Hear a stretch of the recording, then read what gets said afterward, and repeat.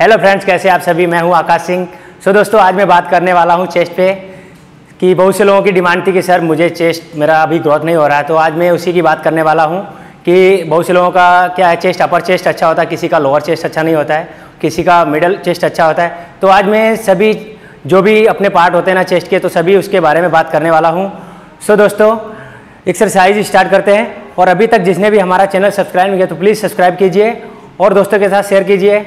और लाइक ज़रूर करें। सो so, दोस्तों हम फ़र्स्ट एक्सरसाइज स्टार्ट करने जा रहे हैं जो कि हमारी फ़र्स्ट एक्सरसाइज होगी फ्लैट बेंच प्रेस जो कि एक बेंच का स्टार्ट सेटअप करना पड़ेगा जैसे कि ये थ्री नंबर बेंच है। तो अभी जैसे इंक्लाइन किया है हमको पहले फ्लैट करना है। तो सेटअप करेंगे इसको एकदम फ्लैट पे। ठीक है? तो डम्बल यूज़ करना है। तो डम्बल ये देखिए। तो आपको स्टार्ट कहाँ से करना है? मैंने देखा है कि बहुत से लोग क्या करते हैं डम्बल लेते हैं डायरेक्ट यहाँ से और सो जाते हैं इसे डायरेक्ट तो यहाँ से लेते हैं तो वो नहीं करना है क्योंकि आपको इंजरी होने का चांस रहेगा। सो so, आपको स्टार्टिंग कहाँ से करना है? डम्बल की। सो so, मैं बता रहा हूँ। सो so, आपको क्या करना है? आपको डम्बल उठा के पहले आपको अपनी थाई पे रखना है। और थाई पे रख के आपको थाई इस टाइप से पूरा ऊपर करना है। और आपको साथ में बेंच पे सो जाना है। और इस टाइप से। ये। बहुत से लोग क्या करते हैं तो? यहाँ पे लाते हैं तो इंजरी होने का चांस रहता है। तो आपको वैसा नहीं करना है। आपको यहाँ से लाके डायरेक्ट ऐसे सुना है। तो यहाँ से आपको यहाँ करवाना है। बहुत से लोग क्या करते हैं? हाफ़ करते हैं। इतने करते हैं। यहाँ से बस। तो इसमें पूरा मसल पे टेंशन नहीं आता है। तो आपको परफेक्ट करना है। यहाँ से 90 डिग्री तक। बहुत से लोगों का क्या रहता है कि एल्बो जो है, बाहर को कर देते हैं। तो आपको बाहर नहीं करना है। आपको 90 डिग्री एल्बो में रखना है और आपको 90 डिग्री तक नीचे लाना है, जो कि आपका मसल को रिट्रैक्ट करें और मसल बढ़ाने के लिए ग्रोथ करें। तो हम स्टार्ट करते हैं। पहली एक्सरसाइज हम करेंगे? वन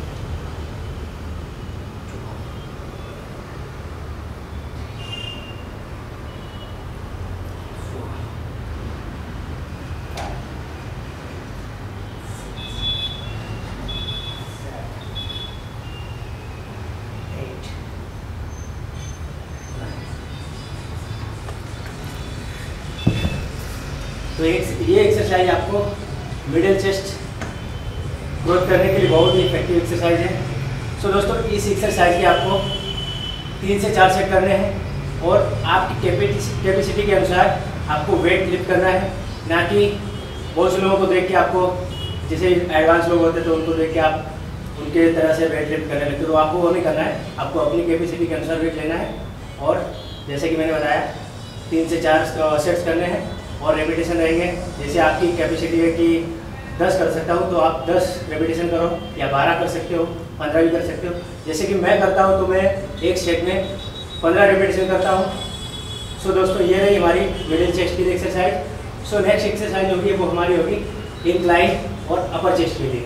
सो अभी हमारी नेक्स्ट एक्सरसाइज है, वो है हमारी इंक्लाइन डम्बल प्रेस जो कि अपर चेस्ट के लिए बहुत ही अच्छी एक्सरसाइज है, जो कि मैंने अभी पहले ही इंक्लाइन बेंच करके रखी है सेटअप करके रखा है। तो करना क्या है? आपको, जैसे कि मैंने पहले एक्सरसाइज में बताया कि डंबल आपको थाई पे लेना है, जो कि आपको ऊपर ले जाने के लिए बहुत ही हेल्प करता है। तो जैसे कि मैंने यहाँ पे डंबल लिए हैं सो आपको फास्ट करना है और सो जाना है। तो आपको पहले क्या है? आपका सीटिंग पोजीशन आपको बैक का पूरा आर्ट बनाना है, जो कि आपका बैक पूरा बेंच में सेट हो सेट हो जाए।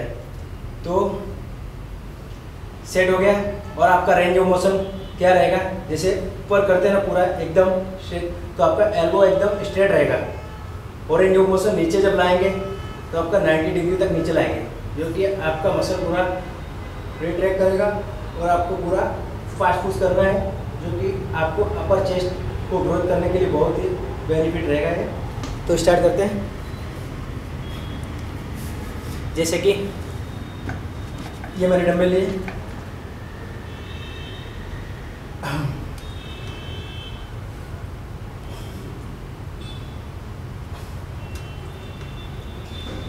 आपका पूरा फोकस चेस्ट पे होना चाहिए।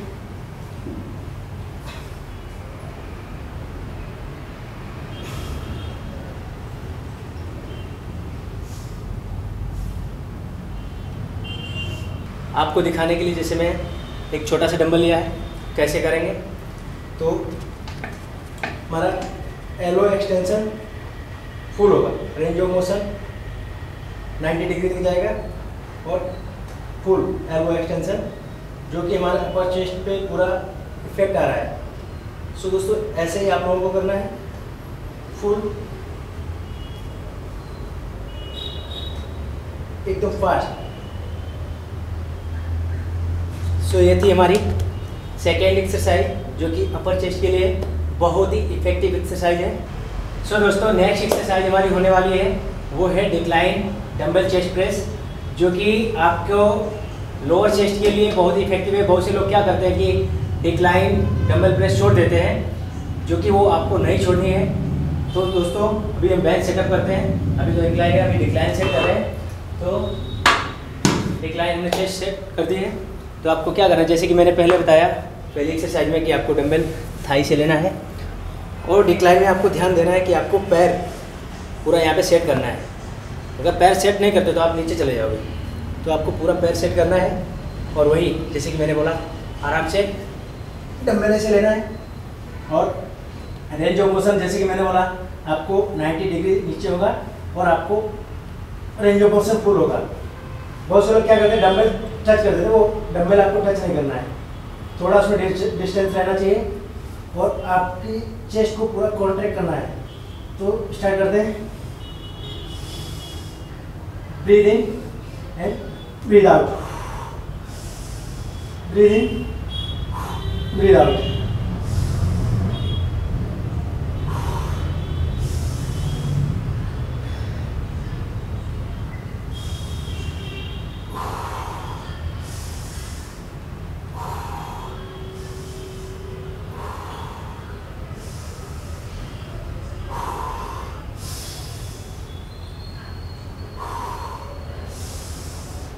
ध्यान देना आपके एल्बो बाहर नहीं जाना चाहिए। सेंटर में रहना चाहिए आपके नाइन्टी डिग्री तक आपको पूरा पुश करना है ऊपर की साइड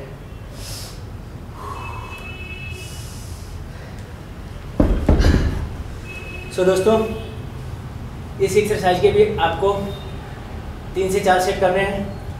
ध्यान देना आपको वेट आपकी कैपेसिटी के अनुसार लेना है ना कि आपकी जैसे मैंने देखा है बहुत से लोगों को कि डम्बल दूसरे को देख के ज़्यादा ले लेते हैं या मतलब ऐसा कुछ नहीं करना है कि आपको बैक, इसमें चेस्ट में कुछ इंजरी होने के चांस है। तो आपको अपनी कैपेसिटी के अनुसार आपको वेट लेना है। सो दोस्तों, ये हमारी लास्ट लास्ट एक्सरसाइज है, जो कि हम डबल फ्लाई करने वाले हैं। सो दोस्तों नेक्स्ट एक्सरसाइज हमारी वो होगी डबल फ्लाई जो कि हमारी चेस्ट की जो तीन मसल होती है, तीनों को टारगेट करेगी, जो कि आइसोलेशन एक्सरसाइज है। तो उसको परफॉर्म हम कैसे करेंगे? जैसे कि फ्लैट बैक मैंने जैसे बहुत सी एक्सरसाइज में बोला कि आपको बैक थोड़ा आर्च करना है, ठीक है? और पैर पूरा सेट कर देना ज़मीन में, ठीक है? और बहुत से लोग गलती क्या करते हैं? पूरा हैंड पूरा स्ट्रेट करते हैं, इस टाइप से करते हैं। इस टाइप से। तो ये गलती आपको नहीं करना है। आपको क्या करना है? थोड़ा एल्बो बैंड करना है। तक लाना है। यहाँ से पूरा ऊपर इस टाइप से। बहुत से लोग क्या करते हैं? ज़्यादा वेट हैवी करने के चक्कर में एल्बो ज़्यादा बेंड करते हैं, इस टाइप से करते हैं। तो ये रॉक एक्सरसाइज है वो, जैसे कि अपने प्रेस करते हैं तो वो उस टाइप से हो जाता है। आपको वो टाइप नहीं करना, मैंने जैसे बोला, आपको थोड़ा एल्बो बेंड करना है स्लो डाउन करना है स्लो ब्रीद इन जब बाहर की साइड जाए तो ब्रीद इन करना है, ऊपर लाते तो ब्रीद आउट करना है। सो so, इसके हम जैसे परफॉर्म कर रहे हैं अभी।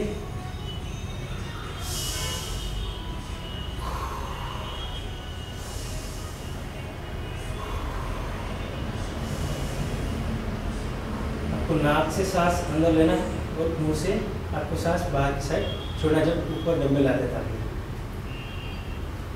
सो so, ये थी हमारी डम्बल फ्लाई एक्सरसाइज जो कि जैसे कि मैंने बोला कि ये हमारी एक्सरसाइज तीनों मसल पे टारगेट करते हैं। सो so, दोस्तों ये थी हमारी चार मैन एक्सरसाइज जो कि जैसे मैंने बताया आपको, कितने सेट्स करने हैं, कितने कितने सेकंड का आपको रेस्ट लेना है, कितने आपको रिपीटेशन करना है। सो दोस्तों, कैसी लगी हमारी वीडियो सो दोस्तों, अच्छी लगी तो आप लाइक करें और सब्सक्राइब करें और दोस्तों को शेयर करें।